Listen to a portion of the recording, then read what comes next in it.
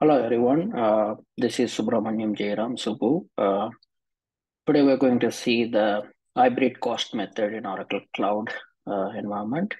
So hybrid cost method is nothing but uh, when you the finished good or the final assembly will be in uh, one cost method. All the components, uh, those who are consuming to complete the finished good will be in the different cost method. In this scenario, I have taken one FG item, final assembly as a standard cost. All the components are in the actual cost method. So we'll see how to, uh, what type of configuration we did in the system and then how to perform the transactions. And I will show you the costing side, how the cost is consumed, how cost is showing from finished good assembly and then the components.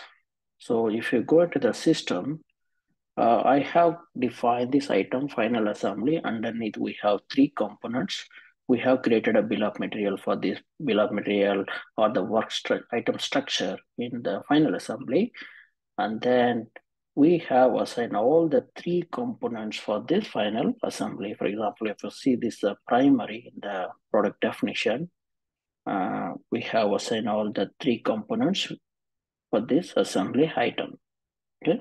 And then how the cost is segregated, how the costing is defined for this. I have defined some costing categories. For example, for the final assembly is a standard cost. You see here, standard cost I had defined as a category.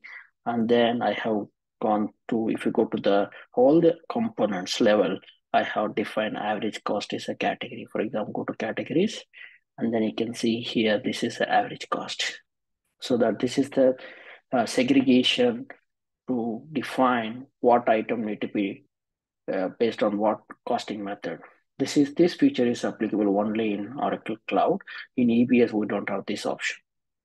So I'll go to create a work order for the, I'll, before going to work order, let me show you the costing side quickly, how the cost books are assigned and the valuation units. Go to the cost accounting, go to the uh, review cost accounting distributions. And before that, go to the task pane, go to the manage review item cost. If we give this item cost is just like I'll query all these items, like start with SG underscore, and then before on or after this one, on or before this one. So if you go see here, this is my final assembly and this all the components, right? And then this is the cost which I already used for these items. And then you can see here, this is the standard cost, the costing method you can see. The final assembly is a standard cost. All the components are classified as an actual, I mean the perpetual average costing method.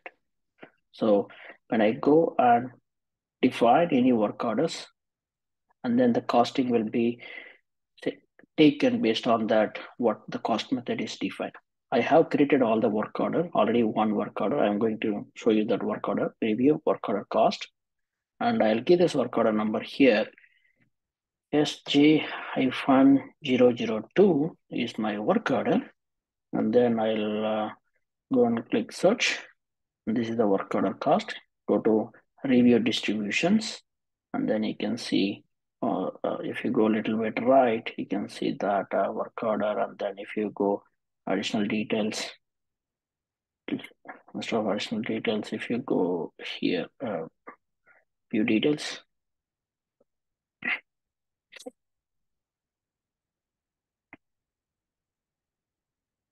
Uh, this is one of the development environment vision environment uh, it will take a bit time.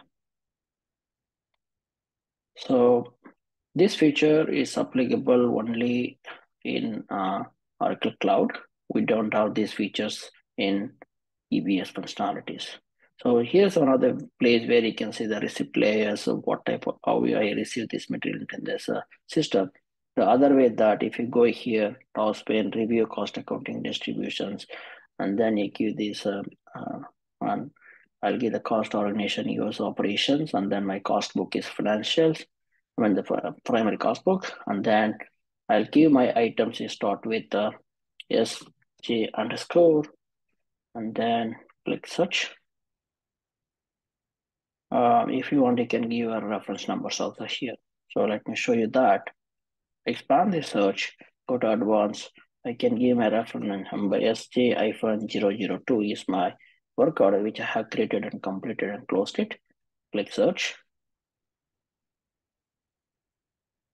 And then we'll show you that work order. The work order we have, this is the final assembly. Underneath we have all the three components. Let me show you the work order details in the different tab so that you will understand easily. So manage work orders and uh, SJ-002, I'll go for all, click search, and then uh, open the work order number, and then go to the operations. You can see this is my final assembly, SJAS 4751200. Underneath, we have three components which already applied, and then there are some resources also got um, consumed for this work order. And then if you see here in this work order, how the cost got complete, I mean, the distributed here, like uh, if you go a little bit right, the work order production completion material issue, right? All those things you can see here. And then if you see the work order number, and then you can see here, standard and averages. This is the cost profile which we have defined. If you click the standard cost profile, it will show you this is the standard cost method. Cost method is standard cost, uh, which is which is uh, linked to my final assembly item. If you click this average cost profile, it will show you this perpetual average cost method, which is linked to my component.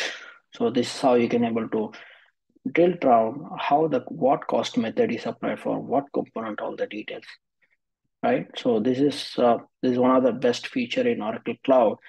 You can use uh, all raw materials maybe in a different cost methods like standard cost or actual cost or perpetual cost. And then you, if you want to final assembly in a different cost method, you can do that.